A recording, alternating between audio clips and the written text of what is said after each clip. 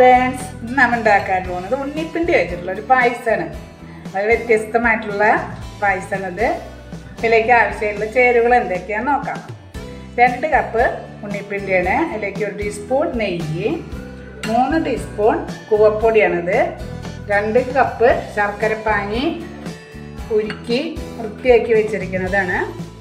പിന്നെ ഒരു രണ്ട് ടീസ്പൂൺ അണ്ടിപ്പരിപ്പ് അഞ്ചാറ് ഏലക്കായ മുക്കാൽ കപ്പ് കട്ടിപ്പാലാണ്. കട്ടിപ്പാൽ നമ്മൾ എപ്പോഴും കൈ കൊണ്ട് പിഴിഞ്ഞെടുക്കുക. വെള്ളം അധികം ചേർക്കാണ്ട്.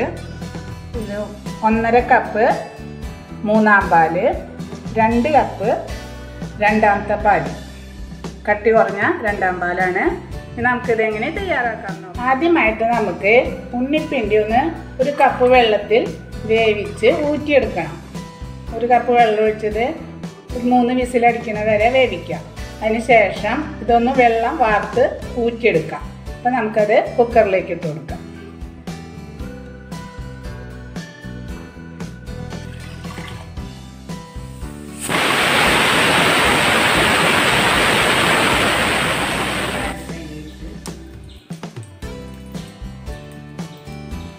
ഇപ്പം നമുക്ക് പായസം വെക്കാനായിട്ട് അടി കട്ടിയിട്ടുള്ള ഒരു പാത്രം എടുക്കാം. അത് ഉരുളിയാണെങ്കിൽ കുറച്ചും കൂടി നല്ലതാണ്. എന്തെങ്കിലും ഉള്ളി ഇല്ലാത്ത കാരണം ഉപയോഗിക്കും ആദ്യം അണ്ടിപ്പരിപ്പ് ഒന്ന് മുട്ടിച്ചെടുക്കാം അണ്ടിപ്പരിപ്പ് ചെറിയ കഷ്ണങ്ങളാക്കുക. അതൊക്കെ തീ കുറച്ചിട്ട് അതൊക്കെ മുപ്പിച്ചെടുക്കാം. അണ്ടിപ്പരിപ്പ് മൂത്ത് തുടങ്ങിയിട്ടുണ്ട്. നമുക്കിതിന് കുറച്ച് മുഴുവൻ എടുക്കില്ല. കുറച്ച് മാത്രം ഇങ്ങോട്ട് വേറെ പാത്രത്തിലേക്ക് മാറ്റി വെക്കാം. അത് ലാസ്റ്റ് ചേർത്ത് കൊടുക്കാനാണ്.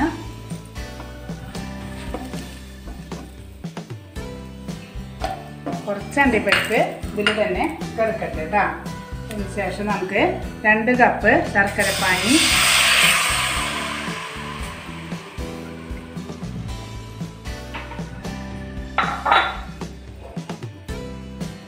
ശർക്കരപ്പാനി തിളച്ച് വരുന്നതോടുകൂടി നമ്മൾ ആദ്യം മാറ്റി വെച്ചിട്ടുള്ള ഉണ്ണിപ്പിണ്ടി വേവിച്ചത്.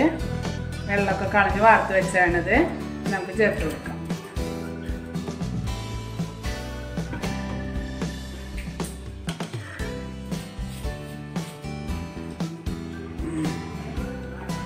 ശർക്കരപ്പാനി ചേർത്ത് ഒരു പത്ത് മിനിറ്റ് സമയം കഴിഞ്ഞാൽ നമുക്ക് മൂന്നാം പാൽ ചേർത്ത് കൊടുക്കാം.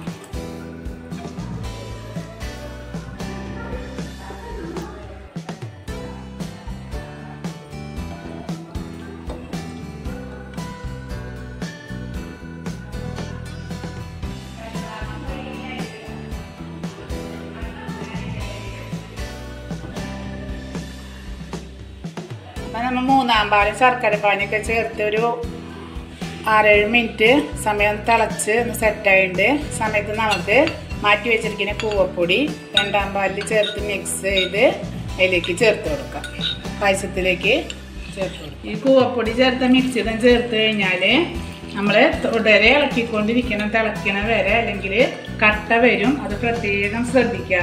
പിന്നെ നമ്മൾ നാളികേരപ്പാലൊക്കെ എപ്പോഴും വലിയ കണ്ണിയുള്ള അരിപ്പയിൽ അരിച്ചെടുത്ത ശേഷം നമ്മൾ ചായ ഇരിക്കണ ചെറിയ അരിപ്പയിലൊന്ന് അരിക്കണം.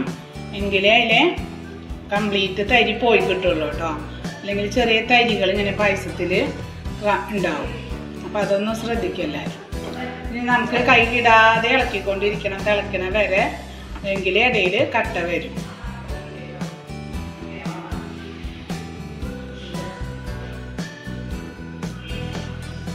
ഇതൊക്കെ തിളച്ച് വന്നു തുടങ്ങിയുണ്ട് ഇനി നമുക്കിതിൽ പറയുക ഏലക്കായ ചതച്ചത് കൊടുത്ത്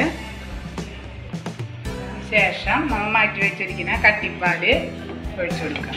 കട്ടിപ്പാൽ എപ്പോഴും കൈ കൊണ്ട് പിഴിഞ്ഞെടുക്കാൻ ശ്രദ്ധിക്കുക കേട്ടോ. മിക്സിയിൽ അടിക്കുന്നതിലും നല്ലത് കൈ കൊണ്ട് പിഴിഞ്ഞെടുക്കുന്നതാണ്.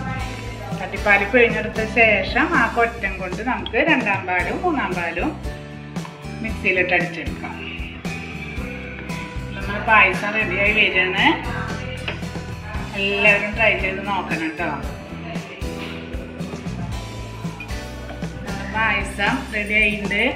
തമ്പാല ഒഴിച്ചപ്പോൾ നമ്മൾ ഈ സമയത്ത് ഒരു ലേശം ഒരു നുള്ളു ഉപ്പ്. ഞാൻ ആദ്യം ഇട്ട് കൊടുത്ത മറന്നു പോയത്. അപ്പോൾ നമ്മുടെ പായസം റെഡി ആയിട്ടുണ്ട്. ഞാൻ ആദ്യം വറുത്ത് വെച്ചിരിക്കുന്ന അണ്ടിപ്പരിപ്പിന്റെ മേലെ ഇട്ട് കൊടുത്തിട്ടുണ്ട്.